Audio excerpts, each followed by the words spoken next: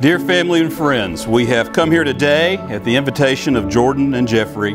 This outward celebration we shall see and hear is just an expression of the inner love and devotion they have in their hearts for one another. Jordan was and is one of the kindest, most selfless, considerate people I've ever met.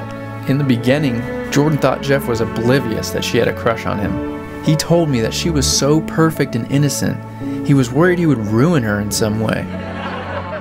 But through the years, I've known of no better man to have around for the highs and lows life has brought.